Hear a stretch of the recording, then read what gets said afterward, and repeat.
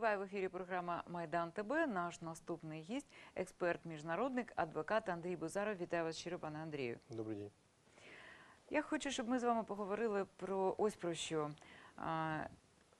Яким чином треба відновлювати ті території, які постраждали внаслідок російської агресії? І найголовніше запитання: як ви вважаєте, коли це треба починати робити? Дочекатися, поки е, наші збройні сили їх звільнять, ну за допомогою дипломатів, е, міжнародників і таке решта. І тоді, вже коли на території не буде жодної чужої людини, як то кажуть, жодного агресора а, зі зброєю в руках, тоді вже починати відновлювати чи. Коли треба починати? Ну, власне, як і продовження нашої першої розмови з психологом, коли треба починати лікування? Да, вопрос э, лечения вопрос восстановления Донбасса, они взаимосвязаны в какой-то степени. Но я хочу сказать, что и напомнить о том, что зона антитеррористической операции, она включает в себя не только ту часть Донбасса, которая не подконтрольна, а также ту часть Донбасса, которая подконтрольна Украине. По сути дела, вопросы восстановления, лечения, они касаются как подконтрольной части, так и неподконтрольной.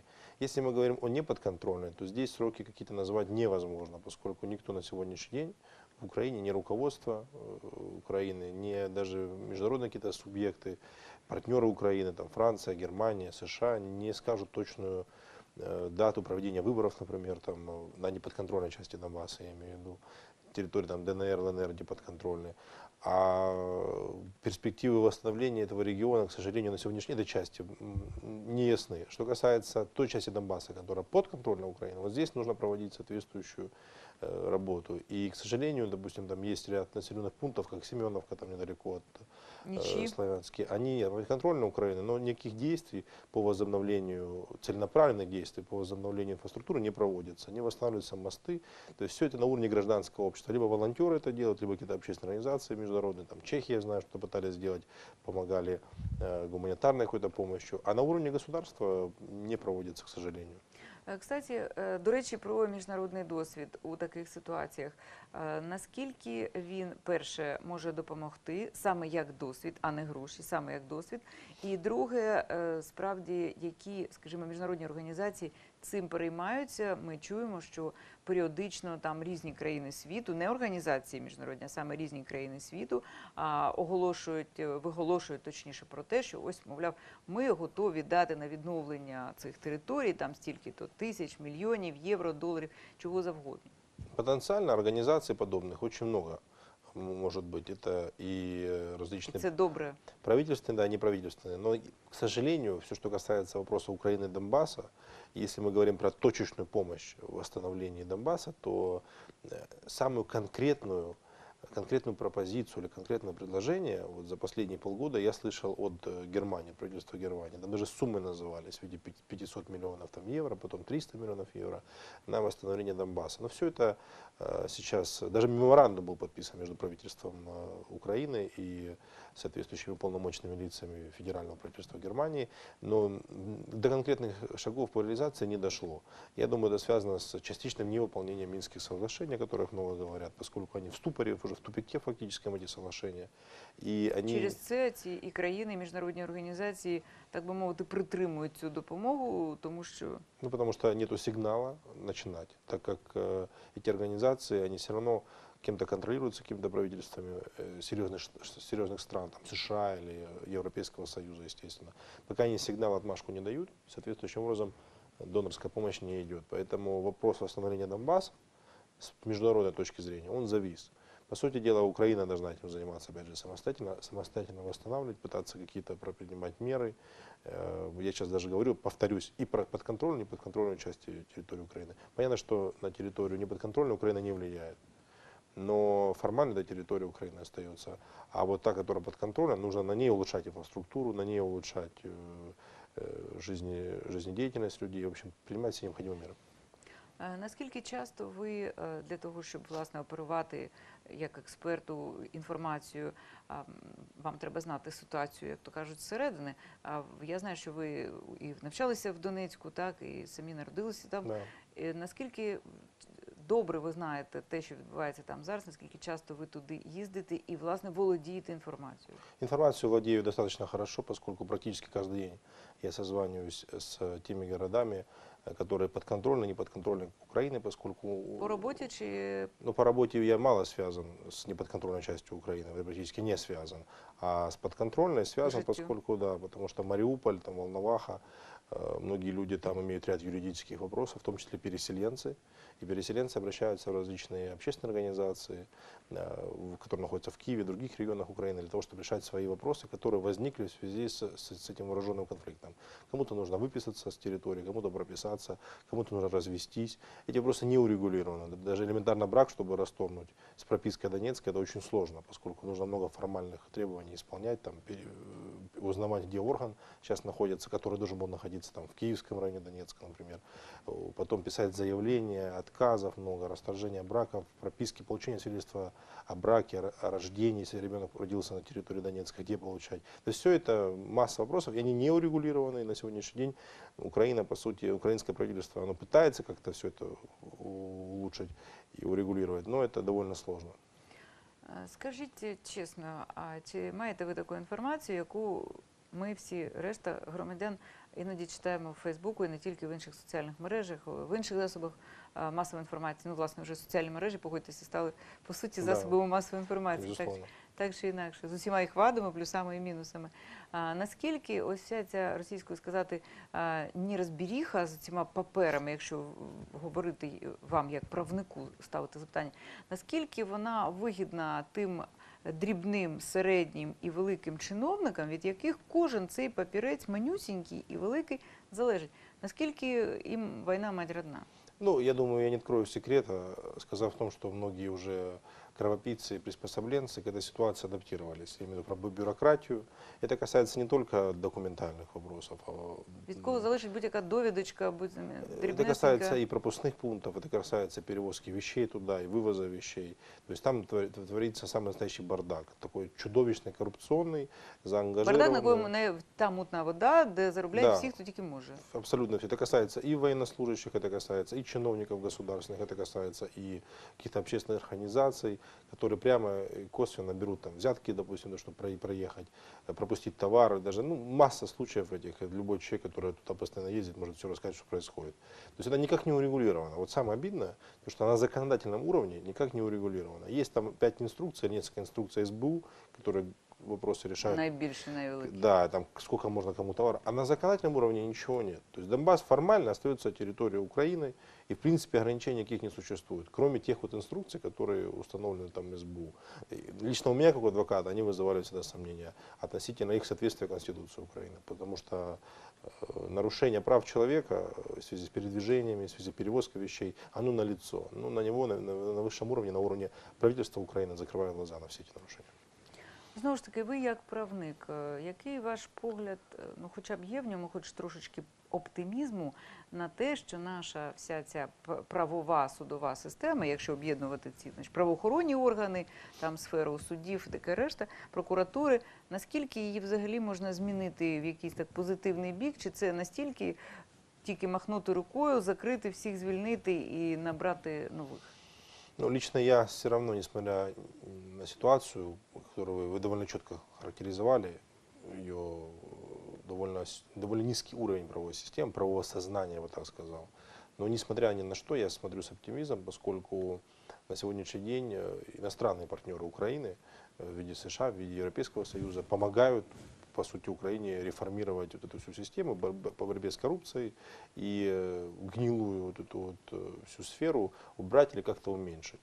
И вот э, сегодняшний визит да, там, вице-президента США Джо Байдена. Байдена, он в значительной степени как раз и будет посвящен борьбе с коррупцией, поскольку Украина в этой части, она на сегодняшний день не в полной мере делает э, конструктивные шаги. И это связано с тем, что очень часто с коррупцией в Украине борются бывшие коррупционеры, либо нынешние коррупционеры. Або Тобто- роблять вигляд, що вони з ними Да, ими- имитация, это очень хорошая публику. вещь. Да, и они действительно научились этому всему, уме- умеют имитировать, друг друга обвиняют в коррупции, э, как правило, те люди, которые кого-то обвиняют в коррупцию, сами очень сильно связаны с коррупцией. Особенно это четко, когда персонифицированно называются фамилии. Там.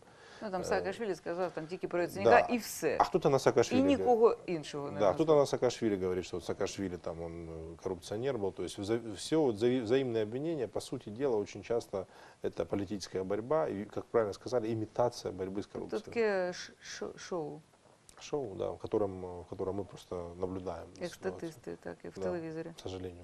Е, Чи ходите ви, скажімо, на шоу Савіка Шустера? Не, лично я не был, поскольку тогда, когда у меня появилось желание как-то поучаствовать, І сказати щось там уже, правду. уже это, это шоу убрали с, э, с, с телевидения, оно фак- фактически осталось на сегодняшний день только в, интер- в интернет-пространстве. Як ви ставитеся до таких програм, як, скажімо, ш- шоу Савіка Шустера, там, не знаю, Свобода слова Андрія Куликова, там на п'ятому каналі, я маю на увазі Кривое зеркало. а, всего, да, да. с- схожого формату. Наскільки вони а, потрібні, і наскільки людина, скажімо, експерт, будь-який політичний, там, міжнародний адвокат, е, ну наскільки йому не, не соромно туди ходити? Ну, я считаю, что они должны, эти программы, существовать, работать, Хай функционировать будуть только при условии стопроцентной объективности или существования разных точек таки зрения. вірити. А, Я думаю, что разные политические силы можно приглашать к тому, чтобы высказывали разные позиции. И э, это возможно. это І допустимо. запорука того, що воно хоч якусь користь, крім просто розважити людей Принцип- ввечері, подивитися, як багаті люди б'ють один одному морду, а потім ручкаються за камерами, як ми знову ж таки знаємо. Хоч якась користь, я- коли може бути? Должна- должен быть принцип состязательности. То есть люди должны соревноваться. Это, по сути дела, опыт мы берем э, стран Запада. В США и в Европе, хоть и шоу уже существует десятилетиями, когда разные Все вже политические відточене, партии. так, так, Да, так. а і- мы, Украина І только там учится. об'єктивності все ж таки бі- більше, ніж, ну, менше, ніж 100%, але Есть, сто процентов тяжело, конечно, добиться, но она существует. А в Украине только этому всему учатся. Пока что с проблемами с большими, но учатся. Поскольку медиапространство все равно, как ни крути, в Украине оно под контролем определенных олигархов я ж про що і хочу Да. сказати, що один канал належить одному, другий канал е, другому, третій третьому. І е, зрозуміла річ, що так чи інакше, через цензуру, через редакційну політику, через просто само е, усвідомлення журналіста, як що і треба говорити. І виходить, що одна точка зору, друга точка зору того олігарха, третього вже було простіше, коли б вони втрьох зібралися в студії, вимкнули камери, да, і, И поговорили. і порішали. Да, совершенно верно, но, к сожалению... Цікавіше було б, але ж на таке камер немає, справді і не побачиш. Тільки вы, в кіно вы, вы хіба как ж. журналист знаете, что журналистику часто называют четвертой властью. Поэтому Ви в це вірите? ну, нужно стремиться к этому. Нужно стремиться к тому, чтобы эта сфера была хотя бы более-менее независимой, для того, чтобы мы могли иметь разные точки зрения и их э, учитывать, сопоставлять, сравнивать и понимать, какая из них э, позитивна в конкретной ситуации. Хочу поставити вам запитання, яке ну не те, що некоректне, але воно воно можна ставити. Але все ж таки, е, кому е, ось тих людей, з якими ви працюєте, які мають проблеми саме, я маю на увазі в такій ад- ну, правничій сфері, юридичні проблеми, е, кому гірше? Колишнім воїнам, які не можуть отримати статус учасника бойових дій, е, сім'ям, у яких є загиблі хлопці, е, переселенцям, ще, ще, ще, ще. Хто зараз най, най, найменш такий захищений потребує цієї допомоги? Я не можу могу групу. выделять группу. Здесь все одинаково нуждаются в, В захисте. какой-то помощи, в, супроводе. в помощи со стороны, прежде всего, государства, но поскольку государство не выделяет необходимых средств для того, поэтому люди часто, часто сами деньги ищут, там кому-то статус получить какой-то, кому-то справку переселенца, кому-то там э, выслугу лета добавить, ну, масса вариантов, связанных с Донбассом. С- и Гарно ви вообще- сказали, людина не шукає, як вирішити проблему, а шукають гроші, щоб розуміючи, що без цього навіть най, е, я не знаю, там, чи найчесніший адвокат не працює. Да, и поэтому масса вариантов, связано и с Крымом тоже, потому что много там людей, много госслужащих оттуда были переведены там, по линии прокуратуры, многим задолжали зарплату, сейчас люди там судятся, пытаются, ну, масса проблем возникла. У Украины нет такого вот решения этих проблем, да, поэтому все учатся на проблемах, На на, ходу. ошибках, да, по-другому нельзя сделать. Это касается и, к сожалению, многих вопросов, связанных с Донецком, с Луганцем, и э, люди военнослужащие, которые связаны с АТО, ветераны там АТО, и, естественно, переселенцы, и люди, которые там находятся, они нуждаются в поддержке Украины.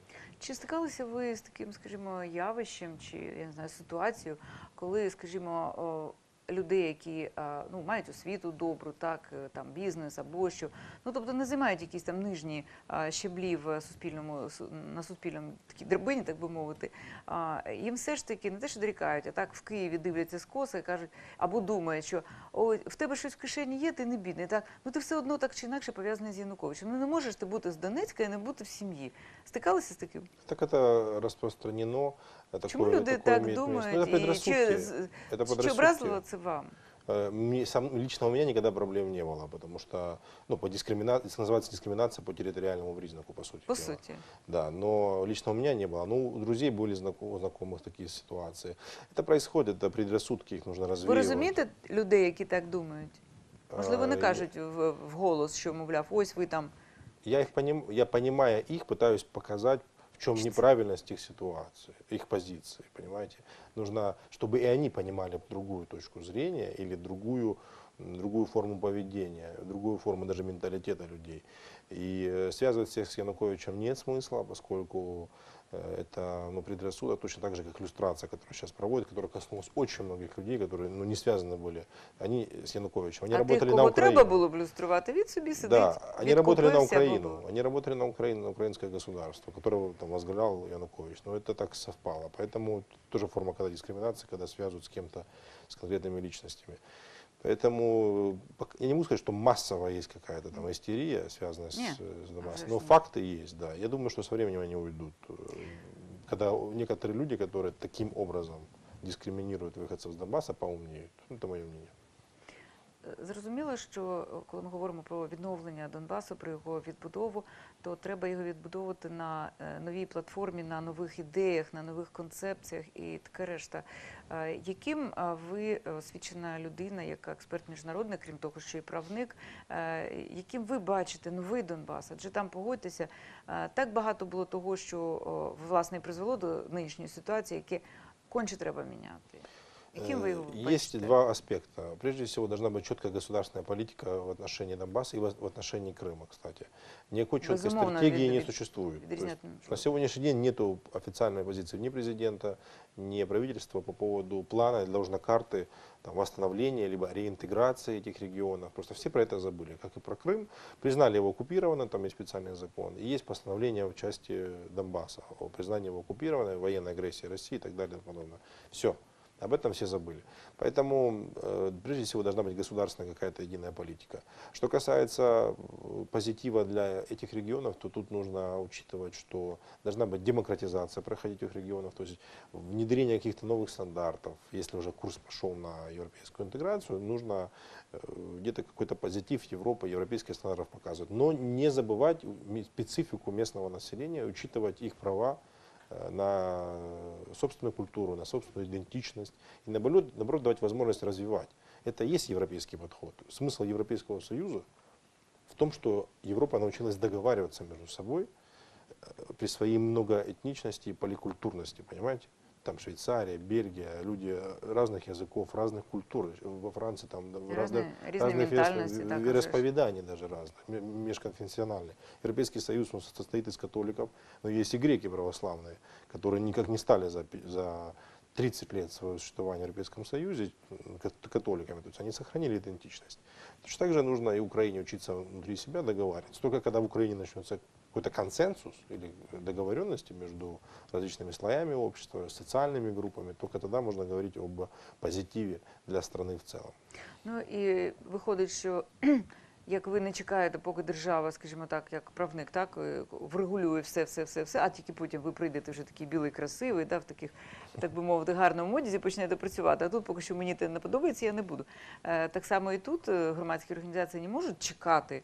Поки держава, але ж ну що таке держава? Держава це люди. Люди, які називають себе чиновниками. І з покоління в покоління зацікавлені тільки в тому, щоб зберегти свій клас і продовжувати не те, що там грабувати країну, де вони чиновники, але все ж таки керувати тими процесами, які погодьтеся, іноді керувати не треба, а треба тільки їх відпустити, дивитися, як воно там саме скерується, і допомогти. Да. Як громадянське суспільство, е, скажімо, бере участь ось в цих процесах, ну не те, що відновлення Донбасу, а хоча б розро- розробки концепції. Совершенно вы правильно сказали, что на государство надеяться не приходится, и очень часто различные организации, э, по сути, пытаются как-то сформиру- сфор- сформировать какую-то позицию по Донбассу, помогать путем там, гуманитарного груза, либо решения юридических вопросов. Допустим, мне известно о существовании там, Луганского землячества, Донбасского землячества, общественной организации восстановления Донбасс. И каждая из этих организаций проводит какие-то мероприятия. Ну, кстати, вот восстановление Донбасса, по-моему, скоро они должны проводить какой-то форум, э, в котором Тільки вони чи ще хтось? но в ближайшее время они проводят э, с А, участием, с привлечением других организаций, которые прямо или косвенно связаны с Донбассом. И там форум будет касаться э, вот как раз проблематики всего широкого круга спектра вопросов, которые... Вироблення такої, як ви кажете, чого нема дорожньої карти, плану дій. Ну, Я думаю, это больше, наверное, концепции. привлечение внимания государства и международных организаций и общественности. Але ж не к просто при, проблематике. привертання уваги, ой, як там погано, всі знають як. Але що ти можеш запропонувати? Те, чого не дає держава. Я так думаю, виходить. да, насколько я знаю, там будут выступать и эксперты различные, и, возможно, какие-то политики, и выходцы из Донбасса, и представители других регионов, которые будут э, Спільними общими- зусиллями общими усилиями, громадянського суспільства, власне. да, вырабатывать какие-то конструктивные шаги по решению тех актуальных проблем, э, которые сейчас связаны с Донбассом. Е, Чи буде, скажімо, на цьому як це називається фо- форум? Да, форум, А, да. форум, так. На цьому форумі, скажімо, м, як сказати, п- правнича секція. Я думаю, юристы в любом случае будут. В отдельную какую-то категорию, я не знаю, будут они выделяться или нет, но юристы, я думаю, будут присутствовать, и они, э, их точка зрения, она важна для того, чтобы м, правильно понимать, как некоторые общественные отношения, некоторые процессы должны быть с правовой точки зрения урегулированы. Що ви сказали, скажімо, про е, як от мен- мені дуже цікаво, як е, експерт-міжнародник, про ту інформаційну війну, яка дуже давно точиться на наших теренах, і з початком власне активних бойових дій, з початком захоплення Криму, це почалася інша фаза. Погодьтеся, е, і це як частина гібридної війни. Як вам з такої міжнародно-правової точки зору бачиться ця війна? Що, скажімо, мусять знати люди, прості люди, які живуть і тут, і в Донбасі, де завгодно, тому що наш Майдан ТБ викладається в YouTube, і хто завгодно має можливість це подивитися, послухати, порівняти зі своїм життєвим досвідом. Як би ви це прокоментували? Інформаційна війна, що про неї треба знати як частину гібридної війни простій людині? Ну, информационная война – это м, то, что сейчас сопровождает, сопутствует э, любой, любой, по сути, войне вооруженной, любому конфликту социальному. И, Можливо, йде попереду. Да, и война всегда информационная, она имеет, как и любая другая война, стороны конфликта. То есть нужно прекрасно понимать, э, если какая-то информация появляется, кому это выгодно, кто является инициатором этой, этой э, утки, допустим, или какого-то информационного повода, либо какое-то какое сообщение. Вот глобально государство на сегодняшний день, я не могу сказать, что Украина э, в- выиграла в информационной войне да, с Россией, но она и не проиграла поскольку Россия тоже далеко не выиграла в информационной войне, а во многом проиграла. Она, может быть, выиграла в части Донбасса и Луганска и в Крыма э, в информационной подготовке своих э, сторонников, но явно проиграла в остальной части Украины. Тому що плани ж, як ми знаємо, були такі грандіозні, так? Не знаю, вот я здесь с Ну, экспертами те, не що- согласен. Да. Есть много политиков, экспертов, которые говорят про то, что там у Путина были планы дойти там, до Крыма, до Одессы. Я лично уверен, таких планов не было. Вот как они хотели сделать, они так и сделали. Вот ту часть Донбасса именно в этих, этих, этих моментах. Украина могла много раз ввести, ввести войска в Донбасс, э, масса И вариантов звільнити. было, да. Но я знаю это достоверно вокруг, когда еще в мае прошлого года стояли Чому це не було зроблено? Да. Ваша відповідь. не знаю, но точно так же и, э, И Россия цього не зробила. могла, да, и ДНР могли Скільки сделать. разів про це говорилося? Возле Мариуполя на- большие войска были э, ДНРовские, когда украинских войск еще даже тогда Мгм. не было, они могли м- массу вариантов окружить, взять и вы пойти дальше. То есть какие-то договоренности были явные.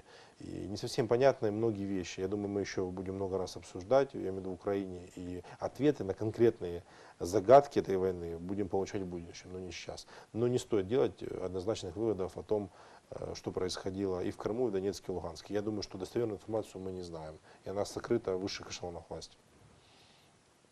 Цікаво, Е, як ви ставитесь, скажімо, до того матеріалу, який ви ну напевне бачили, але хоча б чули, що вчора в підсумковій програмі на плюсах, так ТСН, тиждень був показаний такий сюжет з журналістом Андрієм Цеплієнком, де ну, нібито ну, показували спину людини, яка було написано, що це перебіжчик, офіцер ФСБ, який приїхав і тут давав інтерв'ю на камеру, ну так, на камеру, без обличчя, зі зміненим голосом, про те, що, мовляв, е, Російська Федерація ну, нібито стоїть за е, багатьма там терористичними організаціями і таке решта. Ось е, просто ваш погляд людини, яка все ж таки навчалася в дипломатичній академії. Ви юрист, ви розумієте механізми цих речей і набагато знаєте більше, ніж знову ж таки пересічна людина, яка такого досвіду освіти, хоча б освіти, немає. Наскільки це правда, чи наскільки це все ж таки засланий казачок? Такий перебіжчик, там крот третього рівня Да, левела. конкретно этот сюжет мне трудно говорить, оценивать. У меня нет информации, вы же понимаете. И это больше относится к тому, что вы говорили в начале, к информационным всем, информационной войне. То есть достоверно, он недостоверно, действительно... 50-50 може бути, Ну, правда? Да, ну если брать в сторону, что, допустим, это достоверно, то нужны конкретные факты. Здесь уже, как и адвокат говорят. А це вс- ми почули тільки те, що ми вже знаємо. Ті припущення, ті, мовляв, Да. там готували е, жодного прізвища, жодного такого. Тобто, що розповіла ця людина, чого, скажімо, я знову ж таки там не правник, не міжнародний експерт, не чула з тих же засобів масової інформації або не читала. Это все Ничего информационная война, и ду- нужно очень внимательно относиться к любым таким сюжетам. Точно так же и в ДНР, и в России могут взять какого-то человека, перебежчика, сказать, и сказать, что вот он э, скажет, подтвердит, что НАТО воюет на стороне украинской Що там армии. і, і негри, і все И- що или завгодно, с- розп'ятий да, мальчик. Или і- США, или США, Люб- вот, будь-які организатор фейки. многих терактов и так далее и тому подобное. Это нужно оценивать, это выгодно и- и обеим сторонам конфликта, по сути дела, для того, чтобы манипулировать сознанием, для того, чтобы людей держать э, в постоянном страхе. Да. Вот это очень умело используется сейчас, в принципе, обеими сторонами конфликта. Так называемая теория хаоса, которая разработана была в США теоретиками, но ее применяют во всем мире. То есть держать людей в страхе для того, чтобы им легче манипулировать. В ДНР всем рассказывают постоянно, что скоро-скоро вот украинская армия будет наступать, вот они будут входить в Донецк, уже там рассказывают, освобождать там территорию, нужно готовиться к войне. А в Украине Турчинов постоянно говорит, что вот есть информация, что скоро авиация российская вмешается в конфликт. Есть информация, что ДНР собирается наступать на Мариуполь. Так год уже идет, ни одного наступления никакого нет, не было. То есть линия разграничения, она как осталась, так и так и существует больше, больше уже пол, полутора лет, по сути дела. Но всем выгодно пичкать людей информацией, для того, чтобы люди постоянно в страхе были, на это выделять большие бюджеты денежные, и там, и там, и зарабатывать на этом деньги. Ні, ну ви ж розумієте, що це дві, як то кажуть в Одесі, дві великі різниці, коли, скажімо, а, ф- е, тролі, чи хто як їх там назвати, фахівці ФСБшні Російської Федерації на території, які, яку вони захопили іншої держави, лякають людей. Це один, як то кажуть, розклад. Да? А інша ситуація, які можливо якісь там недолугі наші діячі на різних рівнях дозволяють собі це робити з різними цілями. Це ж все ж таки різні речі, Ну а да, не безусловно, однакові. безусловно, но информационные методы одинаковые. потому что, Е, І на сам кінець нашої розмови, буквально хвилиночка у нас залишається. Е, Ваші поради е, людям, а, які е, живуть там, які живуть тут, які всі українці. Ну, я думаю, нужно прежде всего толерантно относиться друг к другу, поскольку люди и по ту сторону, и по эту, я имею в виду, которые проживают на той, той территории, они граждане Украины, и они останутся гражданами Украины, я, по крайней мере, в этом, ду- в этом думаю. И нужно толерантно относиться, повтор- повторюсь, друг к другу, поскольку и там есть некоторые украинофобские, украинофобские, вы ясно понимаете, настроения. И здесь есть донбасско-фобские. Так, всі вони там всі пари. Да. Да, и это нужно все со, со временем развеять, э, и в том числе вот тут большая роль гражданского общества в том, чтобы наладить мосты, э, общение э, и такие, скажем так, методы развеяния предрассудков, которые существуют, к сожалению. Але ж знову ж таки відповідальність кожної людини залишається при ній. І для того, щоб не стати жертвою там чуток інформаційної війни, в першу чергу треба думати, не, не нервувати чи не так, коли ти Безусловно. щось чуєш, зупинитися. В першу чергу подумати, кому це може бути вигідно, нікуди не бігти, порахувати до трьох, порівняти ще з якоюсь інформацією, тільки потім приймати е, виважене рішення. Такой алгоритм правильный. Е, Щиро вам дякую. Нашим гостем на майдані тебе був Андрій Бузаров, експерт міжнародник, адвокат. Е, Всім бажаю вам в першу чергу подяка Спасибо. за зустріч. Е, Глядачам бажаю всього найкращого, миру і добра. Це майдан ТБ. Ми працюємо п'ять днів на тиждень. До зустрічі.